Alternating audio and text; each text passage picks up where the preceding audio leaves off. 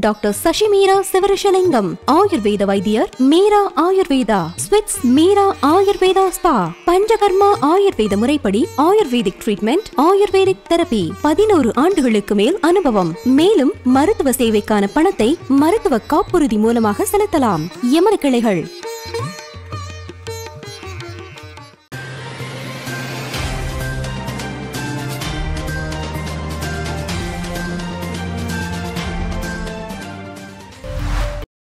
அமெரிக்காவில் அரச பட்டத்தை பயன்படுத்திய இளவரசர் ஹாரி கிளம்பிய புதிய சர்ச்சை.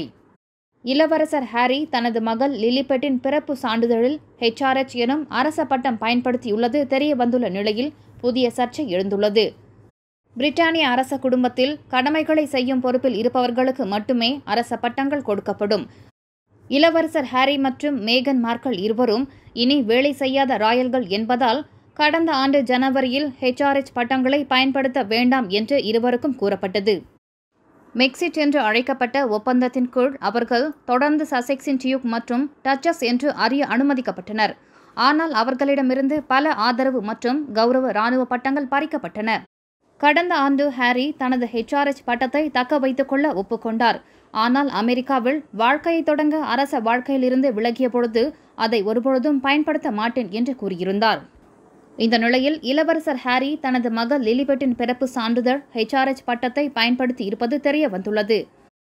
ஹாரி மேகன் தம்பதி இப்பொழுது வசிக்கும் அமெரிக்க மாநிலமான கலிபோர்னியாவில் பகிரங்கமாக வெளியிடப்பட்ட பிறப்பு சான்றிதழ் நகலை டிஎம்எச் ஊடகம் வெளியிட்டது. அதில் Lilibet Diana Mountbatten Windsor June ஆறாம் தேதி காலை பதினோரு நாற்பது மணிக்கு சாண்டா பார்பரா காட்டேஜ் மருத்துவமனையில் தம்பதியரின் மாளிகைக்கு அருகில் பிறந்தார் என்பதை இது உறுதிப்படுத்துகிறது. இந்த ஆவணத்தில் ஹாரியின் முதல் பெயர் த டியூக் ஆஃப் சுசெக்ஸ் என்றும் கடைசி பெயராக ஹிஸ் ராயல் ஹைனஸ் என்றும் பதியப்பட்டுள்ளது. பிரான்சில் வாழும் பிரிட்டானியர்களுக்கு ஓட்டுநர் உரிமம் தொடர்பில் ஒரு மகிழ்ச்சியான செய்தி. பிரான்சில் வாழும் பிரிட்டானியர்கள் பிரெக்சிட்டுக்கு பின் ஏற்பட்ட மாற்றங்கள் காரணமாக தங்கள் ஓட்டுநர் உரிமம் தொடர்பில் பெரும் குழப்பமான மனநிலை இருந்து வந்துள்ளார்கள். பிரெக்சிட்டுக்கு பிந்தைய ஓட்டுநர் உரிமம் தொடர்பான பிரச்சினை பிரான்ஸ் வாழ் பிரிட்டானியர்களுக்கு பெரும் தலைவலியாகவே இருந்து வந்தது. இந்த நிலையில் தற்பொழுது அந்த பிரச்சினைக்கு ஒரு முடிவு வந்துள்ளது. நேற்று பிரிட்டானிய ஓட்டுநர் உரிமங்களை பிரான்சில் பயன்படுத்துவது தொடர்பாக செய்யப்பட்டுள்ள ஒப்பந்தம் குறித்து ஒரு முக்கிய அறிவிப்பு வெளியாகியுள்ளது. பாரிஸில் உள்ள பிரிட்டானிய தூதரகம் இது தொடர்பாக நேற்று வெளியிட்டுள்ள அறிவிப்பு ஒன்றில் பிரிட்டானிய ஓட்டுநர் உரிமத்தை பிரான்சில் பயன்படுத்துவது மற்றும் மாற்றம் செய்வது தொடர்பில் பிரிட்டானியாவும் பிரான்சும் நடவடிக்கை எடுக்க சம்மதம் தெரிவித்துள்ளன என கூறப்பட்டுள்ளது. அதன்படி உங்கள் பிரிட்டானிய ஓட்டுநர் உரிமம் இரண்டாயிரத்து இருபத்தி ஒன்று ஜனவரி ஒன்றாம் தேதிக்கு முன் விநியோகிக்கப்பட்டதாக இருந்தால் அது எப்பொழுது வரை செல்ல தகுமோ அதுவரை அதை நீங்கள் பிரான்சில் பயன்படுத்தலாம் என்றார். இடுகிடுவென பிரிட்டானியாவில் அதிகரிக்கும் டெல்டா கொரோனா வெளியான அதிர்ச்சி தகவல்.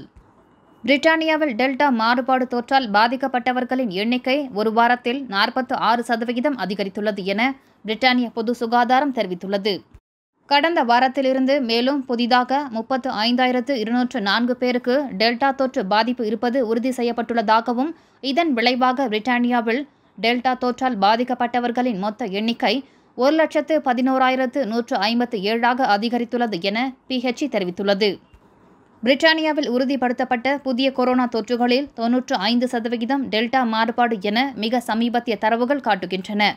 ஒட்டுமொத்தமாக ஒரு லட்சத்து இரண்டாயிரத்து பத்தொன்பது பேர் இங்கிலாந்திலும் ஏழாயிரத்து எழுநூற்று முப்பத்து எட்டு பேர் ஸ்காட்லாந்திலும் எழுநூற்று எண்பத்து எட்டு பேர் வேல்ஸிலும் அறுநூற்று பனிரெண்டு பேர் வடக்கு அயர்லாந்திலும் டெல்டா தொற்றால் பாதிக்கப்பட்டுள்ளதாக அடையாளம் காணப்பட்டுள்ளனர். இந்த வாரம் டெல்டா மாறுபாடு பாதிப்பால் மேலும் ஐநூற்று பதினான்கு பேர் மருத்துவமனையில் அனுமதிக்கப்பட்டுள்ளனர். அவர்களில் முன்னூற்று நான்கு பேர் தடுப்பூசி போடாதவர்கள் முப்பத்து எட்டு பேர் தடுப்பூசி போட்டு இருபத்து ஓரு நாட்களுக்குள் ஆனவர்கள். ஐம்பத்து நான்கு பேர் தடுப்பூசி போட்டு இருபத்தி ஓரு நாட்களுக்கு மேல் ஆனவர்கள் மற்றும் நூற்று ஆறு பேர் இரண்டு டோஸ் தடுப்பூசி போட்டவர்கள் ஆவர். முன்னர் பிரிட்டானியாவில் தோன்றிய ஆல்பா மாறுபாட்டை விட டெல்டா மாறுபாடு அறுபது சதவிகிதம் அதிகமாக பரவக்கூடியது என நிபுணர்கள் கூறியுள்ளனர்.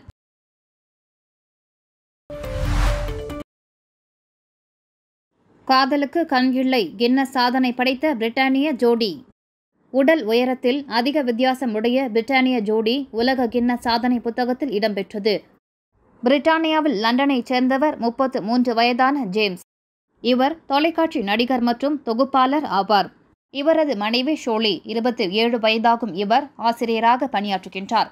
இவர்கள் இரண்டாயிரத்து பதிமூன்றில் காதல் திருமணம் செய்து கொண்டனர். இதில் சிறப்பு என்னவென்றால் ஜேம்ஸின் உயரம் நூற்று ஒன்பது புள்ளி மூன்று சென்டிமீட்டர். ஷோலியின் உயரம் நூற்று அறுபத்து ஆறு புள்ளி ஒரு சென்டிமீட்டர். இருவருக்குமான உயர வித்தியாசம் ஐம்பத்து ஆறு புள்ளி எட்டு சென்டிமீட்டர். கிட்டத்தட்ட இரண்டடி ஆகும். இந்த உயர வித்தியாசமே இவர்கள் ஜூன் இரண்டாம் தேதியன்று உலக கின்ன சாதனை புத்தகத்தில் இடம் பிடிப்பதற்கான காரணமாக அமைந்தது. இந்த சிறப்பு தம்பதிக்கு ஆண் உயரம் குறைவு பெண் உயரம் அதிகம் என்ற பிரிவில் இந்த சான்றிதழ் வழங்கப்பட்டது.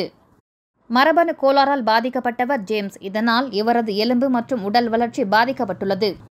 டோலி உயரமான ஆண்களை விரும்பினார். இருப்பினும் ஜேம்ஸை சந்தித்த பொழுது அவரது காதல் அவரது பார்வையை மாற்றியது. பல சிரமங்களை எதிர்கொண்ட பிறகு அவர்கள் அதிகாரப்பூர்வமாக இரண்டாயிரத்து பதிமூன்றாம் ஆண்டின் இறுதியில் திருமணம் செய்து கொண்டனர். இந்த அசாதாரண தம்பதியினருக்கு இப்பொழுது ஒலிவியா என்ற இரண்டு வயது மகள் உள்ளார். காதலுக்கு கண் இல்லை எனும் கூற்று உண்மை என்பதை இவர்களது வாழ்க்கை மீண்டும் நிரூபிக்கிறது.